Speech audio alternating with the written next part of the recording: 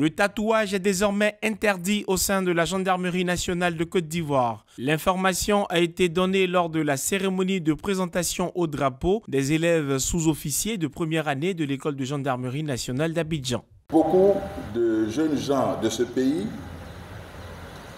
c'est-à-dire être gendarmes, nous avons vu parce que tout simplement, les tatouages sont interdits dans cet établissement. Nous avons vu des jeunes gens qui ont osé se brûler le corps pour éviter, pour effacer des tatouages.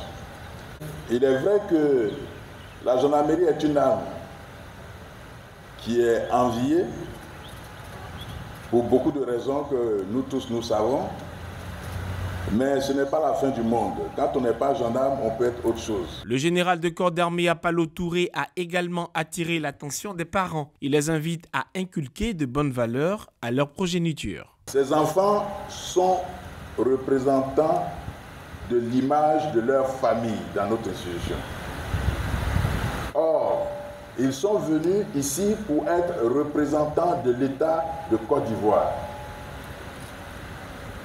vous devez nous aider.